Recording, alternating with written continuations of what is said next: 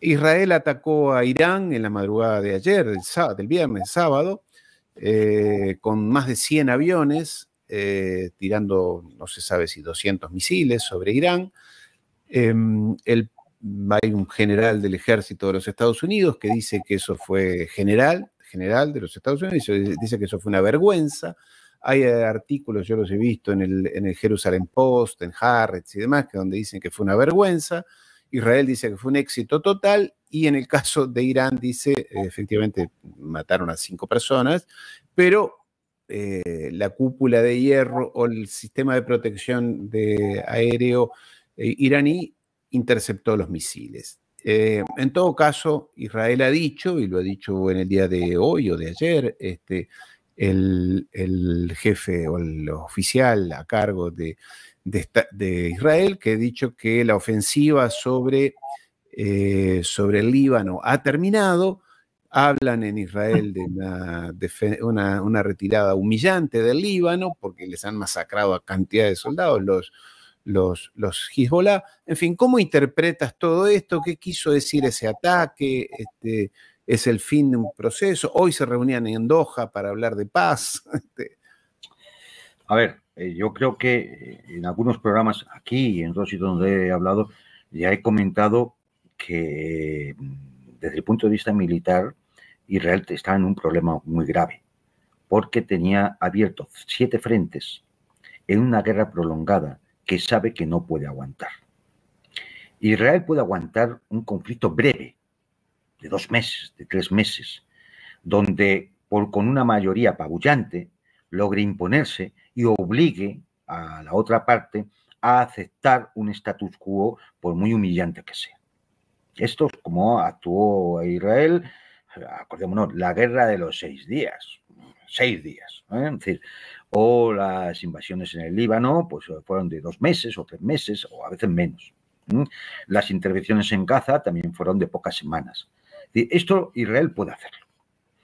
Pero una guerra prolongada de desgaste, no tiene retaguardia estratégica para poder hacerlo.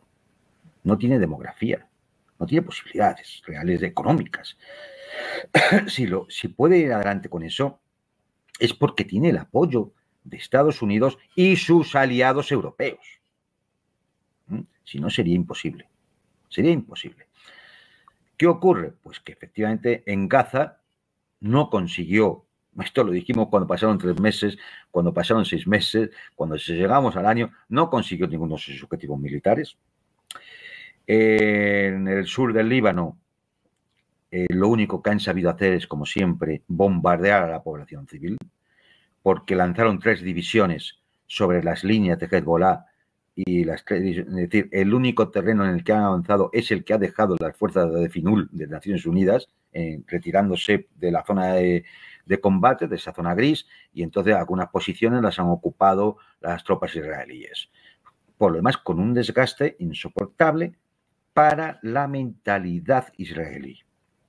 Eso a lo mejor, mira, puede que eh, Siria lo aguante, Corea del Norte lo aguante o en Burkina Faso lo aguante, pero la mentalidad israelí es una mentalidad ya muy occidentalizada, muy consumista, muy individualista, y no ve por qué va a tener que perder la vida por avanzar 40 metros ¿eh? en una zona de la cual al final sabes que te vas a tener que retirar porque estás ocupando terreno en un Estado soberano.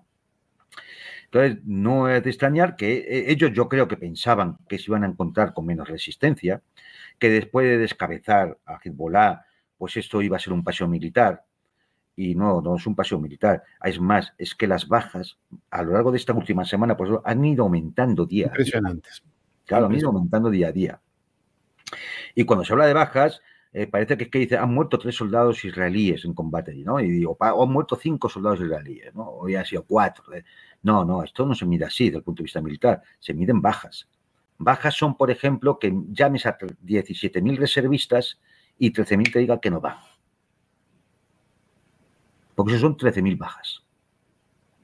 Bajas es que si ha habido ochenta y tantos heridos en los últimos eh, dos días, de soldados, soldados israelíes heridos, significa que muchos de esos o van a tardar mucho tiempo en poder volver a estar operativos o a lo mejor no pueden volver a estar operativos nunca más porque han perdido un brazo, una, extremidad, eh, o han sufrido cualquier otra, otro eh, destrozo corporal que le impide poder volver al combate. Es decir, que es que las bajas militares hay que medirlas así. entonces, esto es una sangría permanente. Incluso en el día que dicen que solo ha habido, que no, ha habido ningún fallecido, hay 16 heridos. Claro, pues que esos 16 los has tenido que retirar. Ya no están combatiendo. Puede que muchos de ellos ni siquiera puedan volver a combatir. Entonces, las bajas no son las que dicen. Cuando dicen, no, 890 bajas, fallecidos. Claro, sí, puede que solo hayan habido 890 fallecidos. Añadir ahí unos varios, pues calcula mínimamente multiplicando por 3 o por 4. Es decir, que estaríamos hablando de, de 4, 5, 6 mil eh, heridos que ya los ha quitado. Es que se lo suma, eso es una división. O sea, no es ninguna tontería. Eso es una división. ¿Que ellos provocan más bajas, sobre todo bombardeando a civiles, mujeres y niños? Sí, claro. Es decir, eso, muy, pero eso es muy fácil. ¿eh? El bombardeo de terror, eso es muy fácil de hacer. Porque va una, eso lo puedes hacer porque Hezbollah no tiene arma aérea. Exactamente. Claro, ni sistemas antiaéreos. Si no, ¿qué ibas a hacer? ¿De qué te han servido los 100 aviones en un ataque ridículo, esperpéntico a Irán? Que ha sido un completo fracaso. Fracaso. Un completo fracaso. Entonces, no yo creo que eh, interpretar lo del ataque, mm, yo creo que ellos pensaban eh, que no iban a tener mucho éxito. Lo digo sinceramente. Y te voy a decir por qué. Por un, ellos en el momento que lanzan el ataque debían tener información e inteligencia suficiente para saber que mucho éxito no iban a poder tener. ¿Por qué lo digo? Porque ya tenían preparado la campaña propagandística para vender el éxito, entre comillas. Pero claro, como no se tiene eh, forma de presentarlo eh, en, la, realidad, pues entonces hay una imagen increíble del búnker de Netanyahu con sus generales, en la que aparece en una pantalla la presunta foto, imagen, de eh, los misiles, o sea, de, Teherán ardiendo por los misiles israelíes. Claro, pero esa foto es del año 2021 y es un incendio fortuito en una refinería. Es cierto. Claro. Luego, si ya en el búnker tú estás sacando, estás haciendo que los fotógrafos saquen esas imágenes para venderlas inmediatamente, imagen, por cierto, reproducida por toda la prensa occidental sin comprobar, sin comprobar que era de agosto de 2021, es porque tú ya en el momento del ataque estabas preparando la campaña publicitaria, la campaña de propaganda. Si estabas preparando una campaña de propaganda con imágenes falsas, que ha habido más, te estoy diciendo la más significativa, ¿eh? pero yo ya he visto más imágenes de esas de falsas. Muchas. cuando, tú, estás, estás preparando ya una, la, la campaña propagandística para vender el éxito y tienes que utilizar imágenes falsas, es porque no las tienes las verdaderas, porque no puedes vender el éxito. Y entonces, sobre el centenar de objetivos que tenían el famoso, los famosos eh, documentos filtrados desde el Pentágono, eh, en el que aparecían mm, más de 100 eh, objetivos a bombardear en, Irán, pues resulta que te limitas a tres.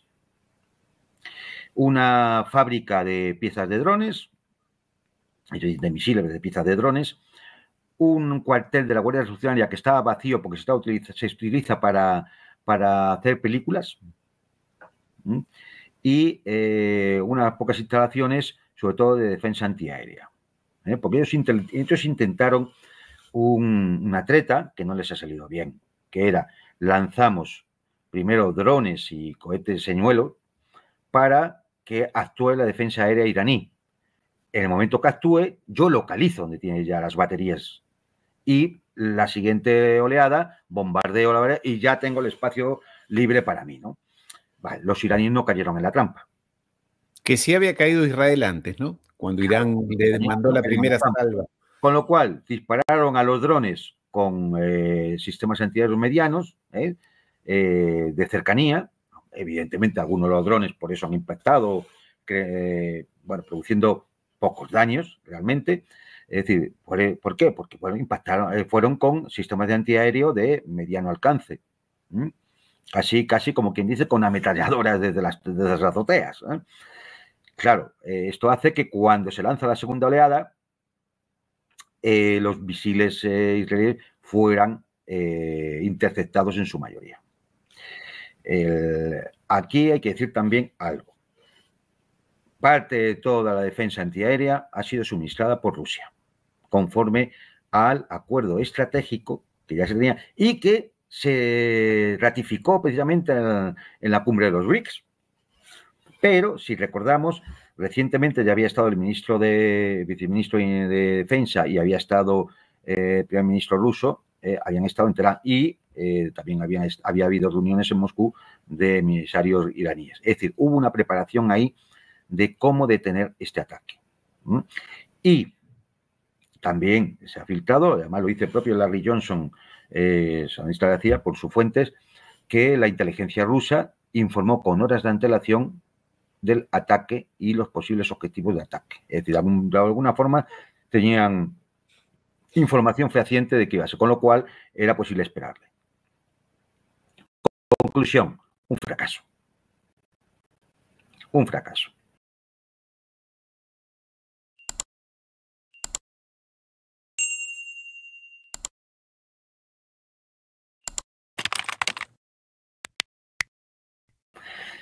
La inteligencia israelí o la inteligencia norteamericana también informaría a Netanyahu de que iba a ser muy difícil poder vender un éxito.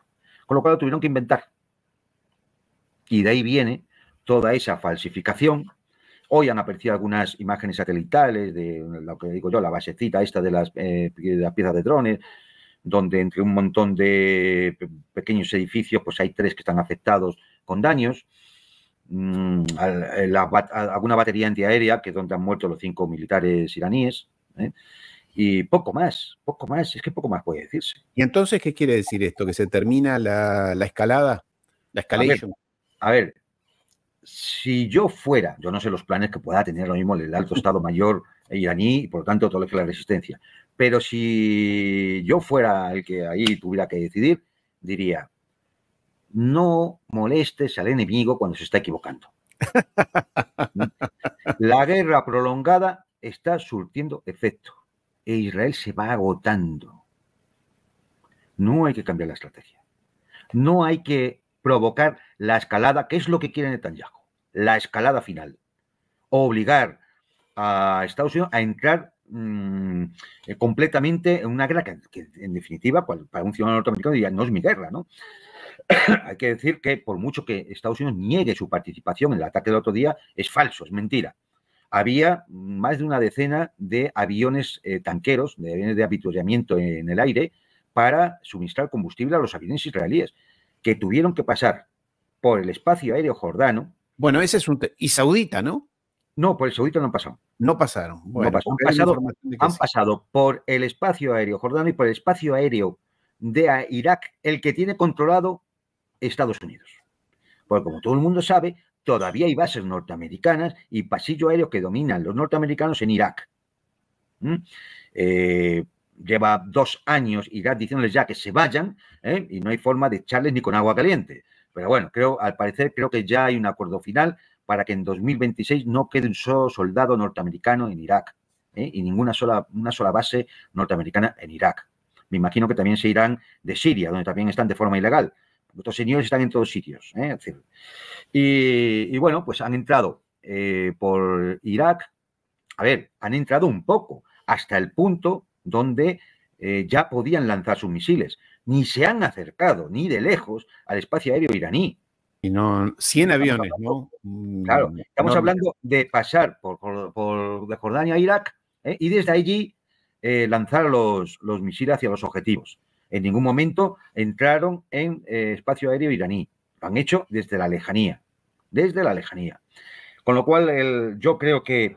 ¿Y eso qué es cobardía, crees tú? ¿Temor? No, no, no. Yo creo que es temor, sobre todo si tienes información, a decir, si entramos, eh, ¿cómo volvemos si nos derriban cuatro, seis, ocho o diez aparatos? Claro, claro. La distancia, recordemos, es de 1.800, casi 2.000 kilómetros. tienes que tener los aviones de, de avituallamiento en el aire, y es más, si el Estado Mayor iraní ve que efectivamente el ataque va más allá de lo que ellos ya tienen controlado, pueda haber una respuesta inmediata. No ahora que hablan, bueno, habrá una respuesta, que a lo mejor lanzar dos misiles, ¿eh? no, sino, sino una respuesta inmediata. Es decir, bueno, pues mientras tus aviones vienen para acá, van a ir otros 200 misiles balísticos hacia Israel. Que eso hubiese sido tremendo, ¿eh? Hubiese sido tremendo. Que esa misma noche hubieran respondido los israelíes, ha sido tremendo. Pero eso es la escalada.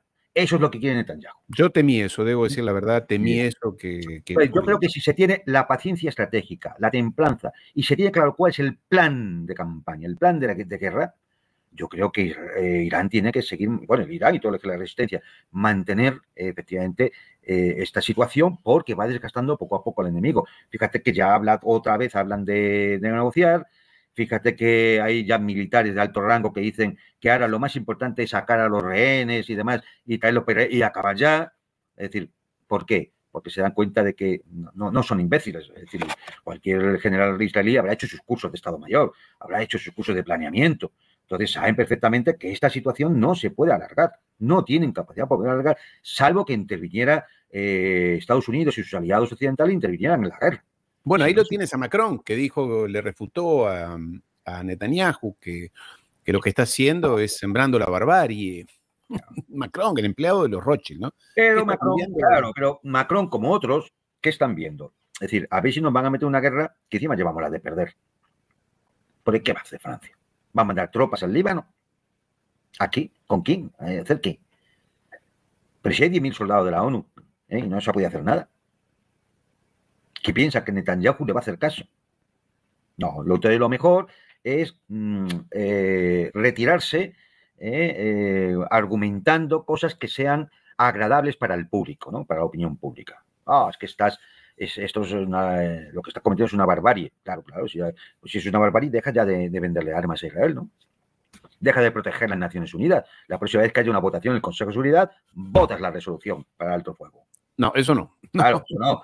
por eso digo que siempre es la palabrería. Pero esta palabrería sirve para intentar esquivar el que me vayan a implicar en una guerra que tiene muy mala pinta. Hoy por primera vez he leído, no sé qué dirigente israelí lo ha dicho, o si ha sido el propio Netanyahu, que ha dicho que están en una guerra existencial. Sí. Claro. ¿Qué, ¿Qué significa esto? Que por primera vez están sintiendo que si pierden, han perdido del todo.